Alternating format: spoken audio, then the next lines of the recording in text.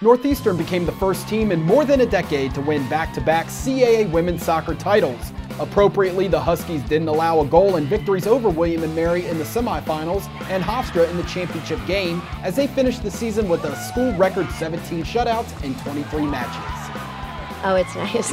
it's nice. It's really nice. I mean, the fans were amazing. You know, teams all from Northeastern coming out and supporting us, which was really great. We really appreciate that. And and to win at home is, is really special. It'll be a great memory for our seniors to be able to, to have that done on Parsons Field. Northeastern's title run wasn't the only exciting moment of the CAA championship, as Hofstra edged James Madison 4-3 in the semifinals on a 45-yard game-winning free kick by Emily Aguadello. Ball sent in over the keeper's head and in! Unbelievable!